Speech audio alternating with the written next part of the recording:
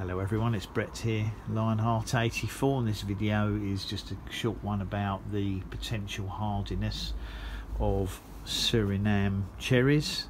That's Eugenia uniflora I believe. This is one that I've had for several years, grown considerably since I got it originally. Has fruited for me once, the fruits weren't very nice, uh, not particularly nice, had quite a strong aftertaste to them which I can when I'm talking about the plants I can never remember what the uh, resinous that's it. The fruits have got quite a resinous flavour to them. It's probably originally a seed grown plant rather than a name variety. Um, I think it might have come from a Dutch grower before Brexit.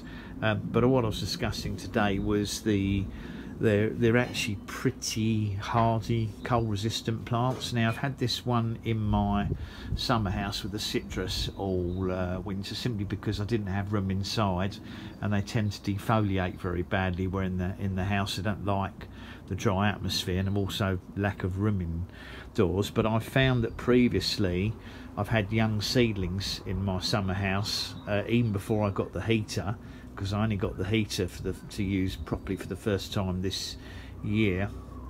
And basically the heater I've got here to protect the plants. Is just a frost heater.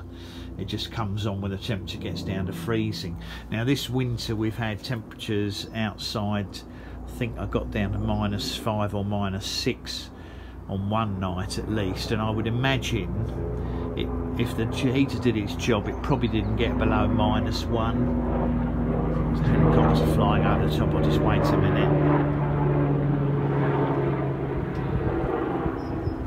yeah probably didn't get below minus one in here if the heater did its job I, I have got a maximum minimum thermometer somewhere but uh, oh yeah it's on the wall at the back but I can't actually get to it at the moment to read it and see what the temperatures went down to but this plant seems to be relatively undamaged and in fact to show you how tough they are. I've actually got some heavily over heavily root bound ones that I grew from seed which are sitting there in the uh, right by the front window which has had ice on it at times. So although the plant's not growing yet seems to take no damage at all. Now I'd, I'd be very tempted unfortunately I haven't got any in-ground space but I'd be very tempted if I had a larger garden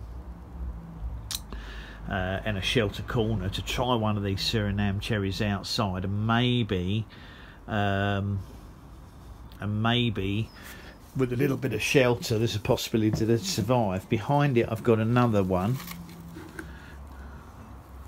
Um, I think I'm not even sure if I might have grown that one from seed or if I bought it from someone like Bernkoos. Again, I've got a couple of grown from seed that are meant to be the seeds from Dark Star, but they might not come true to form. But this one here produces red red to dark red fruits. But as I said, they've got a resinous taste to them. It hasn't fruited for a couple of years because it went it was badly affected by leaf loss in uh, winter. But as I said, I thought it might prefer to be out in the um, summer house this winter and certainly it survived down to freezing without any damage at all. I mean the red, the dark red and blotchy leaves are probably partly caused by, uh, well they'd be caused by cold, possibly drought because I haven't watered it since November. I've just given it its first water today.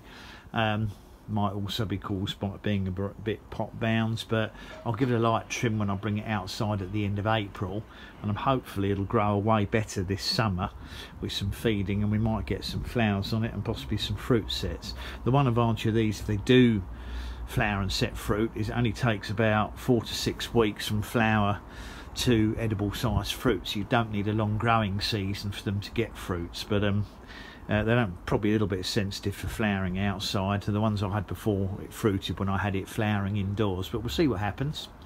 Um, but it's certainly worth experimenting. If you had a mild central urban garden where you very rarely saw frost I reckon there's a good chance of one of these surviving in grounds and getting to a, a reasonable size especially if you threw frost fleeces over it in cold spells so that's my Suriname cherry testing out its cold hardiness in um, in my summer house. It's done as well as all the citrus. and I've got a couple of white sapotes out here so they've all seemed to have been quite tolerant of the uh, of the weather we've had this winter and uh, the temperatures that has been maintained I've put it in front of the window of course so it gets full light. Anyway thanks for watching the video much appreciate it. Please give me a thumbs up share if you think that might be interesting to anybody. Subscribe to my channel and remember to click on the bell if you like updates on new videos as they come out. I'll catch up with you all soon. Brett out for now